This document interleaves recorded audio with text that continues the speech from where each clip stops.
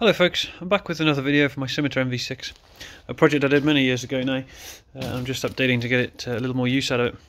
Uh, today I'm just going to talk about the exhausts a little bit, uh, the manifolds I made, and uh, go into a little detail on the clutch, the problem I've got, and uh, what I'm going to do about it. Might even have a little look at the back of the engine, some of the modifications I did, which obviously I won't be able to see again before it goes back in. So exhaust manifolds there, I made these based on some old manifolds I had on the Essex engine before I took it out.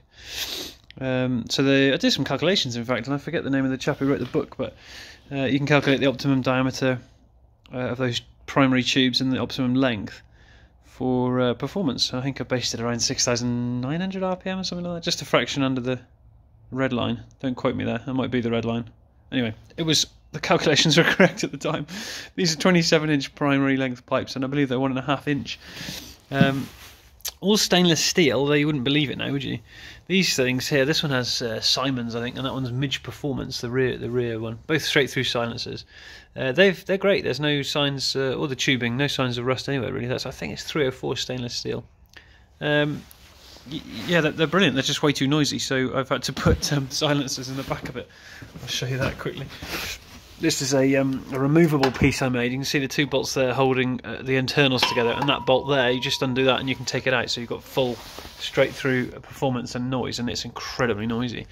Uh, when you're revving revving it hard, it's just noisy. It's not offensive. But when you're down at 2,000, I think 2,500, somewhere like that, the, the resonance is absurd. It's really quite painful. So I, I had to make these as a, as a quick fix, really. And I've been driving around with that quick fix for years. It still makes absolutely bucket loads of power, but if you can see in there, it's uh, it's it's really quite shocking. I've put some perforated pipe in there, um, bent over so it blocks up the tube, and behind it is some stainless steel kitchen scourers.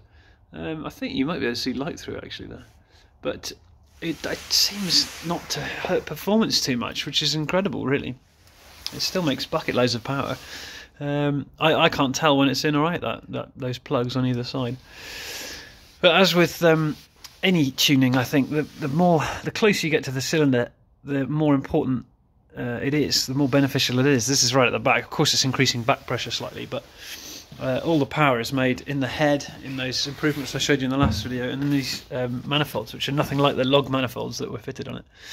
So yeah 27 inch primaries. Now this is I say it's stainless steel. It's some cheap grade beginning with a 4 I forget what it is but obviously it's um it's not liking the heat too much. It's, it's suffering a little but it's not too bad. These are nice stainless steel uh, parts. Got those off eBay. Um, yeah. No expensive bending equipment here. Uh, really almost embarrassing to show you the, the welds, but it was a cut and shut job. Cut sort of five or ten degrees out at a time, bend the tube shut, uh, so it's in, it's intact on this edge, you know, and then welded it around with my pigeon poo welder. Uh, so while it looks shocking, I made great efforts to ensure the inside of it is far smoother than than how it looks on the outside, and then just made the three into one collectors there. You can see, um, which again has shocking welding on it. But it's all sealed and it all works incredibly well, so I'm very pleased. Uh, and it's quite hidden away. There's a, splash guard I've made out of aluminium here which hides all of this. Uh, and I think you can see under the car there's some um, aluminium I've had to put on there to protect the fiberglass as um, when we were on the rolling road mapping this car it became very hot and stinky in there and smoky and it was um, the floor was sort of the resin was drying out and burning so yeah interesting they must have been glowing pretty hot so, as with a lot on this car, really, uh, it doesn't look great, but it does work well. so I'm, I'm really pleased with these. They they took two weeks each side to make, ever such a slow process, but they work ever so well. Um, yeah, so then onto this clutch. I've just got the engine out this morning, and it slips. The clutch slips if you do a little burnout. Sometimes the tyres are, uh, are producing the smell, and sometimes it's the clutch. So it used to have a dual mass flywheel on it uh, you can see now here, this is a lovely um, lightweight flywheel. It weighs around about a third of the weight of the dual master. So it really lets that engine rev very freely and um, opens up performance hugely in first gear, uh, noticeably in second, and then um, you know of course the effect tails off the the higher the gear you're in. But wow, it makes a difference in first. It's uh, it's quite incredible. We drove the car, the Omega, quite a bit. Me and my brother before I um, before I took the engine out to come in the Scimitar. So, yeah, so this is a fantastic piece, but of course, a dual mass flywheel has springs in it, so it does not require springs in the clutch. This is the 240 millimeter clutch that comes with the dual mass flywheel. Obviously, it fits on here. This is um, the correct part for it. It's, des it's designed to fit, but we now have no springs in the driveline. We've got a gearbox that's rated for, I believe it's 300 newton meters. It's the R3 something or other. I forget. There we go. R25, R28. Oh, okay. Maybe it's not the good one. Well, I believe those numbers refer to hundreds of newton meters, so 280 newton meters. The engine on dyno, we figured it was now producing 350, so it's already marginal uh, at best. So to put in a clutch with no springs, those shock loading that goes through the gearbox is, is greatly in, in, increased. At the time, all I could find which would match the number of splines in this clutch was this one. I have no idea what it's off now. Um, but while that one is 240 millimeters, this one it was only 228, and therein lies the problem. The springs are fine; it reduces the loading on the gearbox, but it's not big enough. You can see there. If I let it droop, you can see the uh, the huge um, size difference. Uh, of course, this one will move, but not anywhere near as much. So that is clearly the right size and this is way too small. So I've, I've actually done 13,000 miles in it, but only in the last sort of uh, 500 or 1,000 miles I've, I've noticed this is beginning to slip. I was expecting to see um, the top of these rivets um, had been scraped, but they're not. There is a couple of heat spots on the flywheel, particularly bad on there, but that's fine. We can go ahead with it with that again. Um, so I have found, after much searching and bothering people on eBay with questions, that uh, this clutch here, I don't know what it's from, a diesel van is, I think, is the right size. It's exactly the same, 239 millimeters, near enough 240. Uh, and this is the first time I've offered it up, but there she goes. It's a really great size. It's exactly the same as the, the correct flywheel, but it's got these lovely springs in it, which will protect the gearbox.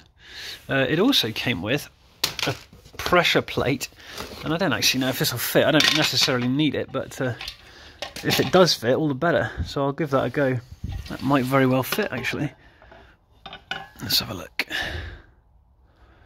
Uh, perhaps it won't can't see where the locating uh... oh there we go there's a locating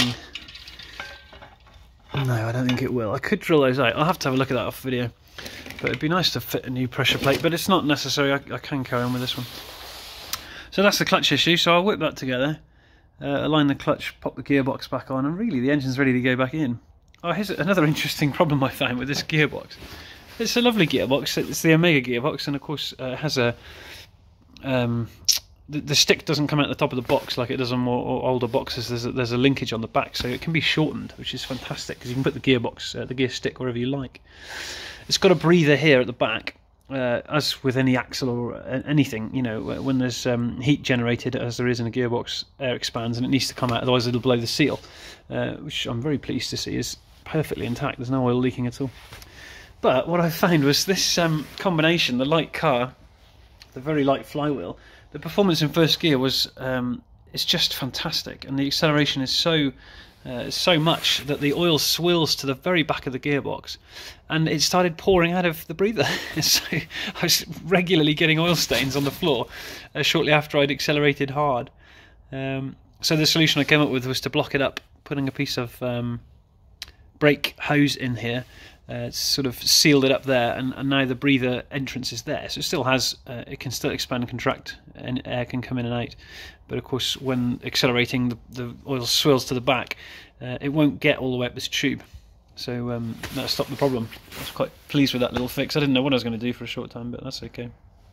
And then lastly, not quite so interestingly, is the back of the engine. It had a huge uh, water manifold thing here, which would have fouled the bulkhead, so I did a lot of work. Oh yeah, and the breather. The um, I was just talking about breathers. There's another one for the engine there. Of course, uh, breathers from the engine go up uh, through these sort of snorkels here up to the throttle body and get breathed in, so there's no emissions except for those out of the exhaust, as I'm sure you know. Uh, but that had to be greatly reduced, so I've made a, a, very much smaller version there with all the breathers on it. Looks like there's a hint of an oil leak from somewhere, but um, that's not enough to worry about for now.